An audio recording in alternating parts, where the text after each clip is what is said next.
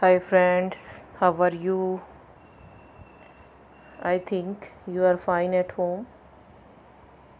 Today we discuss class 9th poem 2 Wind and especially we discuss its summary of this poem. So students, the poem Wind is written by Subramanya Bharti. He is a Tamil poet and famous for his patriotism in the pre-independence era. तो friends ये एक nature poem है। Wind से related है। Wind क्या होती है? हवा होती है। और ये हवा से रिलेटेड है कि और हवा के चलने के दोनों इफ़ेक्ट्स होते हैं। दोनों पहले, पहलू होते हैं। पॉजिटिव भी और नेगेटिव भी। ये हमारे लिए बेनिफिशियल भी है और हार्मफुल भी है। अगर ये अपने रियल रूप में आ जाए, अगर ये नॉर्मली चलती रहे तो हमारे लिए बेनिफिशियल भी है। और अगर ये अपने ही रूप में आ जाए तो ये उतनी ही हमारे लिए हार्मफुल भी है। तो दोनों फैसेट्स इसके दिए गए हैं, दोनों रूप इसके दिए गए हैं विंड के, कि विंड जो है, वो कैसे हार्मफुल है और किस तरह से वो हमारे लिए बेनिफिशियल भी है। तो पोइट क्या रिक्वेस्ट करता है इसमें विंड से? विंड को क्या माना है? एक गॉड के रूप में माना है, एक देवता के रूप में माना है। So reads read this poem the poem wind is written by Subramania Bharati ये पोएम सुब्रह्मण्य भारती के द्वारा लिखी गई है। पोएम का नाम क्या है? विंड और इसके पोइट का नाम क्या है? सुब्रह्मण्य भारती लेकिन ये एक तमिल पोइट हैं। He is a Tamil poet and famous for his patriotism और ये प्रसिद्ध हैं अपनी देशभक्ति के लिए in the pre independence era independence से पहले का प्री होता है बिफोर पहले। और इंडिपेंडेंस से पहले का जो युग था, जो टाइम था, उसके लिए ये देशभक्ति के लिए जाने जाते हैं। उसके लिए पेट्रोटिज़म के लिए ये फ़ेमस हैं। But A K Ramanujan is the translator of this poem लेकिन ए के रामानुजम क्या हैं? एक ट्रांसलेटर बने इसके।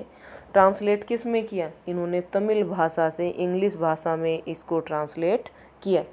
तो ये कौन है ट्रांसलेटर ए के रामानुजन ये एक इंडियन पोइट है और इन्होंने इंग्लिश में इसको कन्वर्ट किया तमिल से। इन दिस पोएम इस पोएम में the poet tells the effect of the wind in general and stormy weather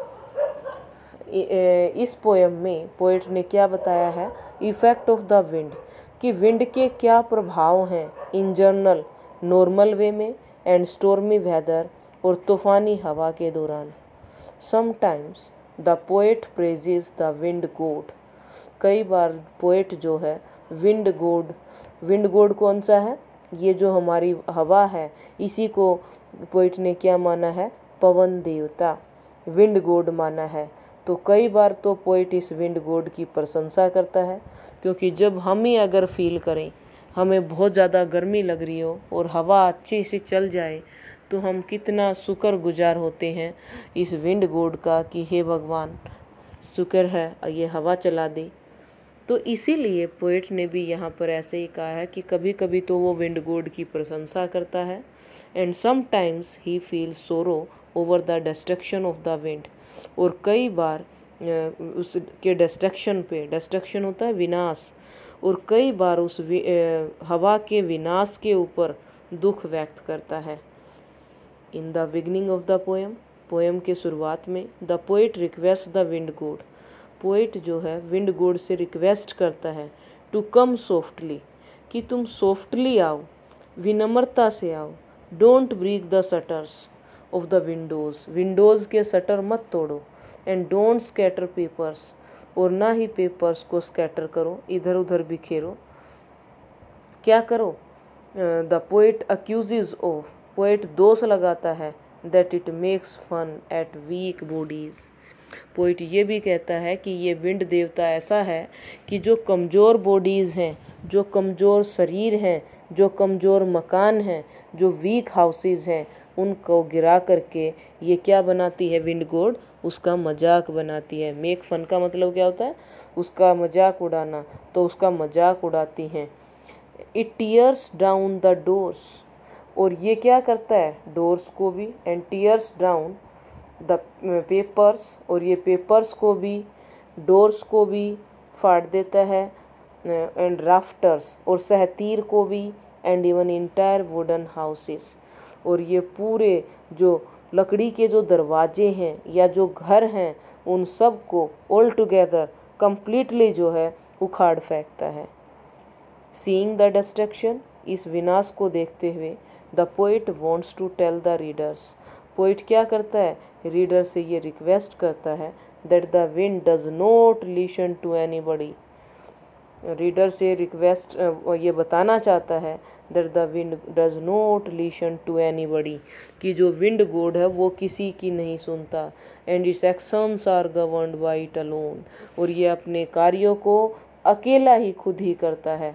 the poet says यहाँ पे पोइट क्या कहना चाहता? है पोइट ये कहना चाहता है कि विंड गोड के आगे किसी का कोई कंट्रोल नहीं होता। ये अपनी मनमानी करता है। अगर ये पॉजिटिव में है तो पॉजिटिव में हमारे लिए बड़ा बेनिफिशियल होता है। और अगर ये नेगेटिव में है तो हमारे लिए बहुत ज़्यादा हार्मफुल भी है।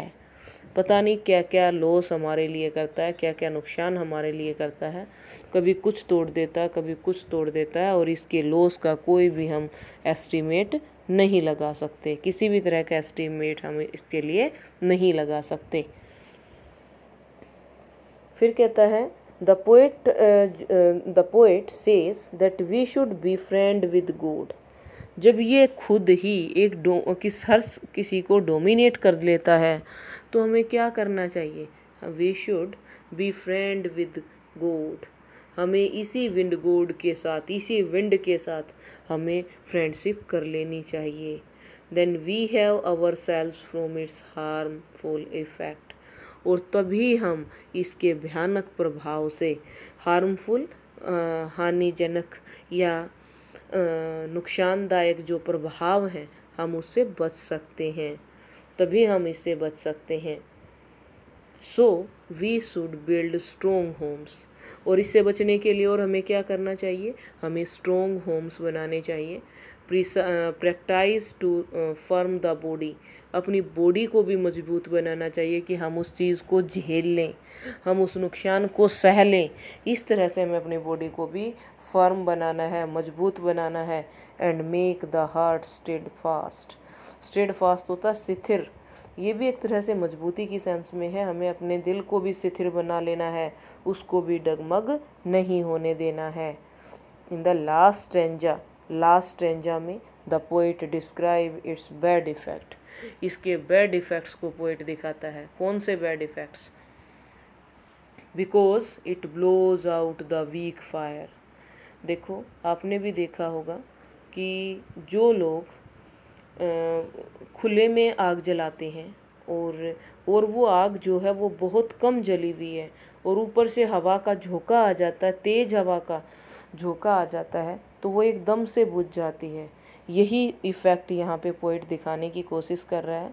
Because it blows out the weak ये वीक फायर को तो बुझा देता है and make the strong fire more strong और जो स्ट्रोंग फायर होती है, जो, जब आग ज़्यादा जल रही होती है और तब स्टोर्मी हवा चल जाए तो वो क्या कर देती है, उस आग को और ज़्यादा फैला देती है।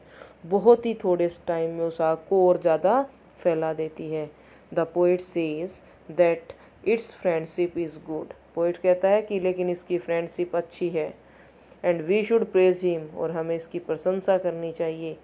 हेयर सिम्बोलिज्म इज़ यूज्ड यहाँ पे कुछ पोइटिक डिवाइस यूज़ की गई हैं, जैसे परसोनिफिकेशन है सिम्बोलिज़म है रिपीटेशन है, इस तरह की पोइटिक डिवाइस यूज़ की गई हैं। तो यहाँ पर पोइट क्या कहता है कि सिम्बोलिज़म का भी यहाँ पे यूज़ किया गया है। क्यों? विंड को किसके सिंबल्स के रूप में यूज़ किया गया है? विंड को डिफ़िकल्टीज़ के सिंबल्स के रूप में यूज़ किया गया है। पोइट कहता है कि अगर ये बार बार सिग्नल दे रहा है कि हमें मज़बूत अपना हार्ट बना लेना चाहिए, हमें अपनी वीक बॉडीज़ को मज़बूत बनाना चाहिए, ऐसा क्यों? क्योंकि अगर हम मज़बूत नहीं हैं, हमारा दिल मज़बूत नहीं है तो हमें क्या है? हमें उस हम उस प्रॉब्लम को ठीक से फेस नहीं कर पाएँगे और उससे डर जाएँगे। इसीलिए हमें अपने आप को मज़बूत बनाना है। तो यहाँ पे सिंबोलिज्म क्या है? Here symbolism is use because wind is the symbols of difficulties क्योंकि विंड किसका सिम्बल्स है? डिफ़िकल्टीज़ का। लाइफ में जो आने वाले डिफ़िकल्टीज़ हैं डिफ़िकल्टीज़ भी एक हवा के झोंके की तरह होती हैं, क्योंकि टाइम जो है, वो चलता रहता है, कभी अच्छा तो कभी बुरा। तो इस तरह से ये डिफ़िकल्टीज़ का सिंबल है। द पोइट सजेस्ट पोइट ये सुझाव देता है that we should be strong physically and mentally कि हमें ये सुझाव देता है कि हमें स्ट्रोंग होना चाहिए फिजिकली भी और मेंटली भी and face the problems firmly और अपनी प्रॉब्लम्स को मजबूती से, निश्चितता से अपनी प्रॉब्लम्स को फेस करना चाहिए। तो पोइट हर पोएम कोई ना कोई हमारे लिए मैसेज देती है। तो ये पोएम हमें क्या मैसेज देती है कि वी शुड बी डिटर्मिंड और bold during the period of difficulties. तो डिफ़िकल्टीज़ के पीरियड में हमें क्या रहना है? हमें मज़बूत बने रहना है और उसका डट करके सामना करना है। सो uh, फ्रेंड्स so ये थी आपकी पोएम और maybe you like this videos thank you for watching this and don't forget to subscribe the channel please.